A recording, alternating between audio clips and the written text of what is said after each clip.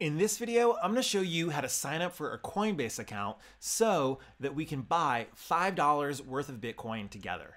I think this is a great experience to have just to go through it. It will it will stick in your brain. You're gonna learn a lot better if you just go through the experience. And I mean, what's five dollars? Five dollars is like the price of a cup of coffee or whatever, you know, like half a bagel or something. So I think this is a really um, worthy experience to just put five dollars into. And in this video, I'll show you how to get signed up. And then in the next video, we'll go ahead and purchase the Bitcoin. So the first thing you're going to want to do is go over to coinbase.com. Coinbase is the most popular exchange at the date of this recording, at least. Uh, it's been around for a while, since 2012. Coinbase came out of Y Combinator.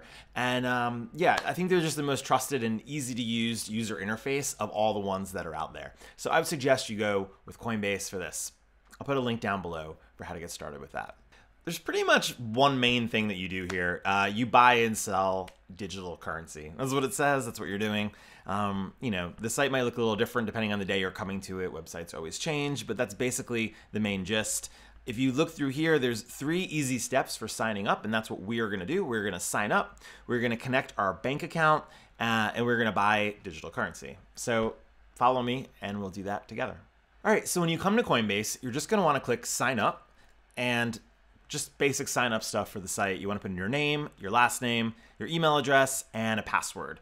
For passwords, I'd recommend using a really solid password. We are talking about your bank account, your money. Uh, I use 1Password to generate passwords. I would suggest you do something like that to make sure you have a solid password. Uh, and then just let them know I am not a robot. And whoa, we need to select all the roads. Well, you probably know how that works, right? This is just a CAPTCHA. Hopefully, hopefully that works. We got all the roads. Oh no, please also check the new images. Uh, there's a road there. Okay, cool. I'm not a robot. Did, now we know. Uh, and then you want to set this up here. And I'll actually just put in my burner email there. Okay, so we'll create a new account. And let's see what happens. All right, verify your email. So now you just have to go and verify your email and do that and come right back. You, you, you, you got. Got mail. You, you, you, you got mail. All right, I went over to Gmail and I got this email. So then I just have to basically click that button, verify my email, and boom, we are in here. Your email has been verified. Thank you. So when you get in here, it's going to ask you if you're an individual or a business. If you're a business and you want to start accepting Bitcoin, you could go that route.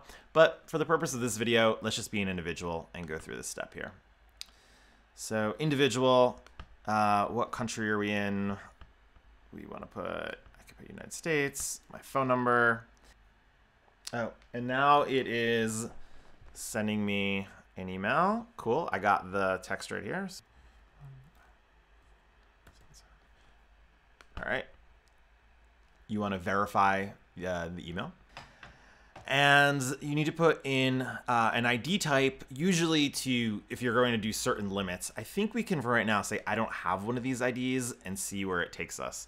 All right, my ID is not supported. If you don't have the supported document type and are unable to compete, complete the verification, uh, it may still be possible to verify proof of residence. So what you're running into here is um, uh, something called uh, Know Your Customer uh, (KYC), which you'll see a lot of the the Coinbases, the exchanges will do is they'll want to make sure who you are. They want to verify it. Uh, this is generally comes from regulation pressure from certain uh, governments, you know, and just their own accountability that they need to know who these people are.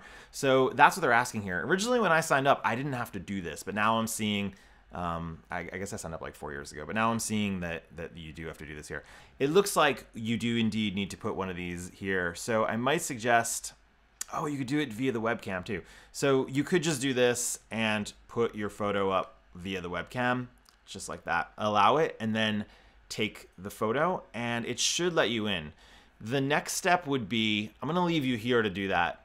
The next step would be setting up your bank account and then we'll meet in the next video for the buying step. So I'll put some links down below if you have any issues. Um, these things are changing all the time week to week. So if you do get really stuck, I mean, you can let me know, but you might have more luck just reaching out to Coinbase directly and being like, I'm having some trouble getting verified.